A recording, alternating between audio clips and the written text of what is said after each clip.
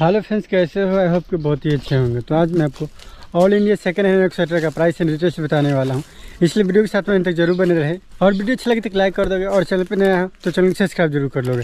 तो चलिए वीडियो को शुरू करते हैं। तो नंबर वन पे है टाटा टू हंड्रेड एक्सवेटर जो 2019 मॉडल है और ये मशीन आपको राजस्थान में मिलेगा और इसका प्राइस आपको साढ़े उनतीस लाख रुपए है। नंबर टू पे हुंडई टू टेन एक्सवेटर जो 2018 मॉडल है और ये मशीन आपको यूपी में मिलेगा और इसका प्राइस आपको 28 लाख रुपए पड़ेगा। नंबर थ्री पे वोल्वो दो सौ चालीस एक्सवेटर जो 2009 मॉडल है और इसका प्राइस आपको साढ़े बारह लाख रुपए पड़ेगा और ये मशीन आपको ओडिशा में मौजूद है। नंबर फोर पे एक और हुडाई है। जो 2014 मॉडल है। और इसका प्राइस आपको 18 लाख रुपए पड़ेगा। और ये मशीन आपको औरंगाबाद में मिलेगा। और अगर आप ये सब मशीन में से कोई से मशीन लेना चाहते हैं तो ये नंबर पर ज़रूर संपर्क करें। आपको सब कुछ बता दिया जाएगा। तो आज के लिए बस इतना है। फिर मिलते हैं नेक्स्ट वीडियो में। तब तक के लिए बाय टेक